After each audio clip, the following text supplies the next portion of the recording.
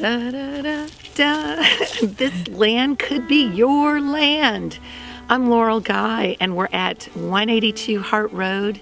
Imagine sustainable living your own homestead, just under 30 acres of land, plenty of room. You've got a gorgeous cabin with solar panels. You have an artist barn with two artist studios and a tiny house off the grid that's perfect for Airbnb rentals and plenty of land to garden, have animals. Oh my gosh, this is it. This land is your land. We're inside the main house and it has such a good feeling. It's all open living space and it's warm and inviting, lots of light.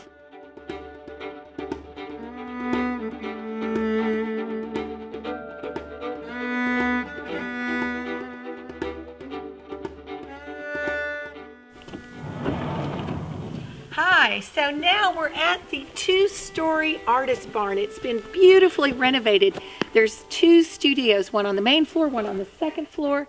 Imagine having such inspiring and beautiful places in which to do your work.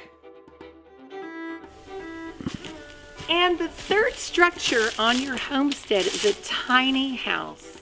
Solar provides electricity for all three buildings.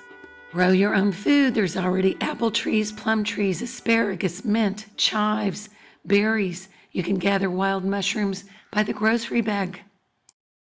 Take the road less traveled and live your best life. Live close to the land, but stay connected to the world. Enjoy distant views, bonfires, spectacular sunsets. 182 Hart Road is just 20 minutes to Ithaca.